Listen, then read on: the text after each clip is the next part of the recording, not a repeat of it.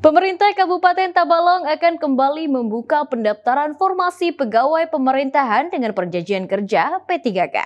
Ratusan formasi P3K pun disiapkan untuk tenaga non-ASN Pemkap Tabalong dan formasi umum. Sebanyak 148 formasi pegawai pemerintah dengan perjanjian kerja atau P3K yang terdiri dari 50 formasi tenaga kesehatan, 50 formasi tenaga guru, dan 48 formasi tenaga teknis akan kembali dibuka pemerintah Kabupaten Tabalong.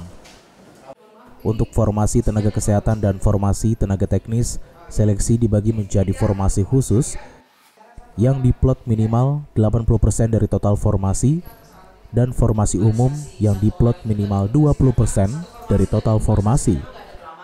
Formasi khusus akan diperuntukkan bagi THK 2 dan tenaga non-ASN yang bekerja pada instansi pemerintah Kabupaten Tabalong dengan masa kerja terus-menerus selama dua tahun. Formasi umum diperuntukkan bagi pelamar di luar tenaga non-ASN atau masyarakat umum. Sedangkan formasi tenaga guru hanya diperuntukkan bagi peserta yang telah masuk dalam data pokok pendidikan atau Dapodik. Kepala Bidang Pengadaan, Pemberhentian dan Peningkatan Kapasitas ASN, BKP SDM Tabalong, Ferawati Ramli menjelaskan, penerimaan P3K pada tahun 2023 ini sedikit berbeda dengan tahun sebelumnya. Di tahun 2023 ini, untuk pegawai non-ASN atau formasi khusus yang mendaftar tidak akan memakai sistem passing grade lagi dan akan menggunakan sistem ranking. Sedangkan untuk pendaftar umum atau formasi umum akan tetap memakai sistem passing grade. Perubahannya seperti itu, jadi formasinya terbagi dua, ya kan? E, tidak ada lagi afirmasi, ya kan? Kalau tahun dulu kan 2022 kan kita ada sistem pemberian afirmasi. Atau apalagi tahun ini kita ada optimalisasi formasi kan.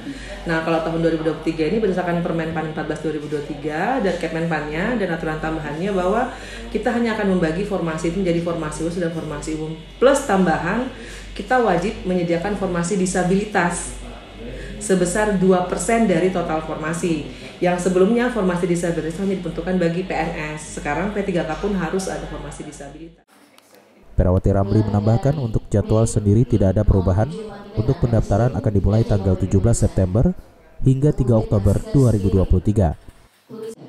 Seleksi administrasi tanggal 17 September hingga 5 Oktober 2023 dan pengumuman hasil seleksi administrasi pada tanggal 6 Oktober hingga 9 Oktober 2023. Donona Farin, TV Tabalong melaporkan. Terima kasih sudah menonton video ini. Jangan lupa subscribe channel Tabalong hari ini dan nyalakan pemberitahuan untuk update info. Jangan lupa juga untuk like, komen, dan share videonya.